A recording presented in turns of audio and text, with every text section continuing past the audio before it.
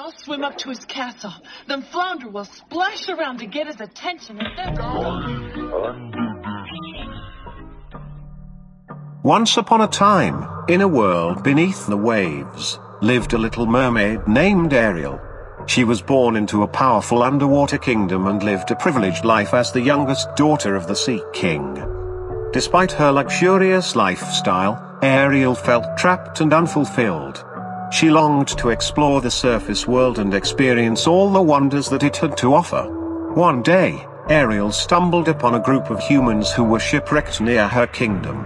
She was immediately captivated by their beauty and grace, and in particular, by a young prince named Eric. She would spend hours each day watching him from afar, entranced by his kindness and laughter. Ariel knew that she could never be with Eric in her mermaid form, so she made a deal with a powerful sea witch who offered to give her legs in exchange for her voice. Ariel agreed, not fully understanding the cost of the trade, as she made her way to the surface world, Ariel's heart swelled with hope and excitement. She was finally going to be able to live the life she had always dreamed of. But things didn't turn out quite as she had hoped. Ariel's legs were painful and weak, making it difficult for her to walk or dance. She struggled to communicate with Eric, as she was no longer able to speak. And as she got closer to him, she began to realize that the humans were not as kind as she had thought. They were cruel and selfish, and the prince was no exception. Eric took advantage of Ariel's inability to speak and used her for his own amusement. He would laugh at her struggles and mock her inability to communicate.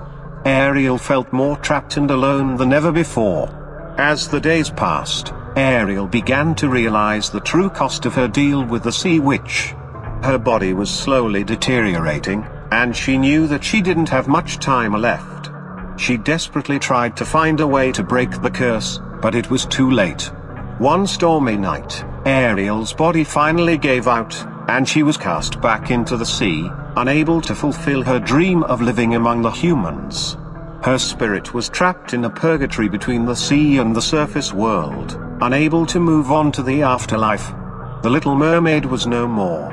In her place was a creature of darkness, forever doomed to wander the murky depths of the ocean, her soul trapped in a never-ending nightmare. And so, the once beautiful underwater kingdom was forever changed, its once bright waters now murky and foreboding, as a warning to all who dared to seek happiness outside of their own kind.